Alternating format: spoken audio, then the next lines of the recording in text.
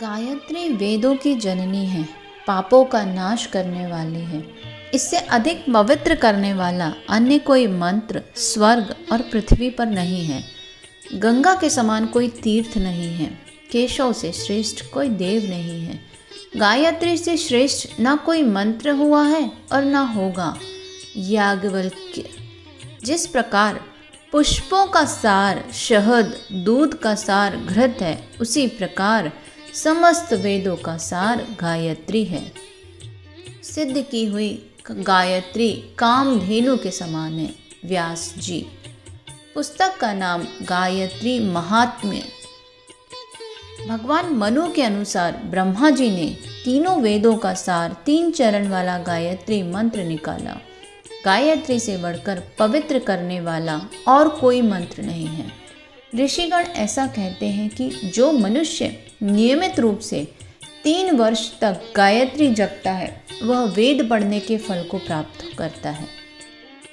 गायत्री भूलोक की कामधेनु है। यह आत्मा की समस्त क्षुदा पिपाशाओं को शांत करती है। गायत्री को स्पर्श करने वाला क्या से क्या हो जाता है, इसीलिए इसे पारसमणि भी कहा जाता है। पुस्तक के कुछ प्रश्न। गायत्री महात्म्य क्या है? गायत्री के जाप से क्या क्या लाभ होते हैं? गायत्री जाप के द्वारा पापों से मुक्ति कैसे मिल सकती है? भगवान मनु ने गायत्री मंत्र का अर्थ कैसे समझाया? याज्ञवल्क्य के अनुसार गायत्री मंत्र क्या है? इन सभी प्रश्नों का उत्तर लेकर आपके समक्ष प्रस्तुत है एक पुस्तक जिसमें गायत्री महात्म्य के विषय में बहुत महत्वपूर्ण जानकारी दी गई है। पुस्तक के कुछ अंश। मंदगति कुमार्गामी और अस्थिर मति भी गायत्री के प्रभाव से उच्च पद को प्राप्त करते हैं। फिर सदगति होना निश्चित है। जो पवित्रता और स्थिरता पूर्वक गायत्री की उपासना करते हैं, वह आत्मलाभ करते हैं। गायत्री मंत्र का निरंतर जप रोगियों को अच्छा करने और आत्माओं की उन्नति के लिए उपयोगी है।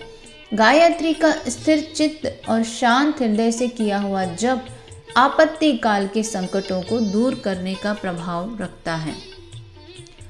भारतवर्ष को जगाने वाला जो मंत्र है, वह इतना सरल है कि एक ही श्वास में उसका उच्चारण किया जा सकता है।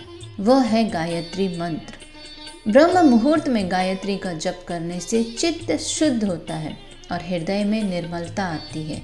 शरीर निरोग रहता है, स्वभाव में नम्रता आती है। गायत्री बुद्धि को पवित्र करती है। बुद्धि की पवित्रता से बढ़कर जीवन में और दूसरा लाभ नहीं है। इसीलिए गायत्री बहुत बड़े लाभ की जननी है।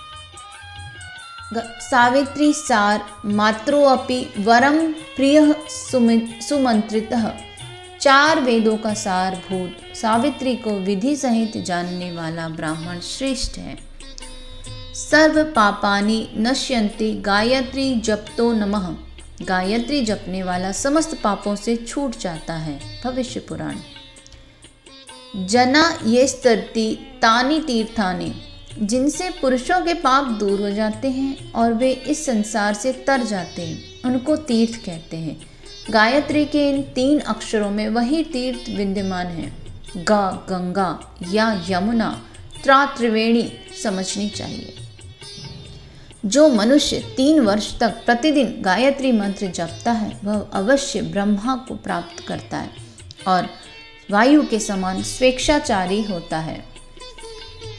नरक रूपी समुद्र में गिरते हुए को हाथ पकड़कर बचाने वाली, गायत्री के समान पवित्र करने वाली वस्तु या मंत्र पृथ्वी तथा स्वर्ग में भी नहीं है।